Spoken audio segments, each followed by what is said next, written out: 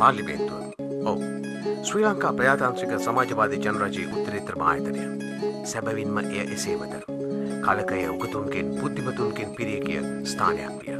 ඒත් ඒ උත්තරීතර ආයතනය අද මැරවරයන්ගේ රස්්‍ය අධකාරයන්ගේ ග්‍රහණයට හසුවී අවසාන්නය. විනයක් නැතිව භික්‍ෂූන්ට පහර දෙන පරුෂ වචනවලින් පැනවතින මෙවන් තත්ත්වයන් මැද මෝහු අපේ තරුණු පරපුරට දෙන ආදර්ශය මොකක්ද.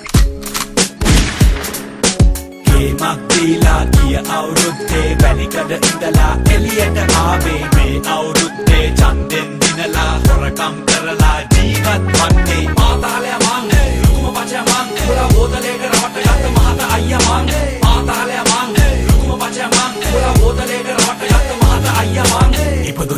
ඉපදුනනු දෙකේ ගෙදර කූඹි කැලේ. පොඩි සමන්ත කිව්වොත් දැන් ඔක්කොම ඕන්නැවේ ඉස්කෝලේ ගියේ පහ වෙනකන් අම්මා තාත්තා රට යනකන් මල් විකුණුවා ෂේප් එකේ පොලිසියට අහු වෙනකන් හැත්ත මාස හයක් කෙරේ කට්ට කෑව හොඳට අනේ පොලිසියෙන් ගැහුවා මට තරු පෙනුණා ඔළුව වටේ. හ්ම්.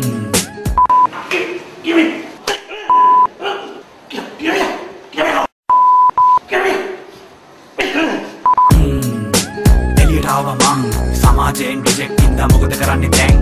අම්මට සිරි මෙතන තිබ්බ මගේ ලෑලි ගෙදරකෝ. ලෑලි ගෙදර නෑ. ඉඩම උගස්කින්. දැන් too late.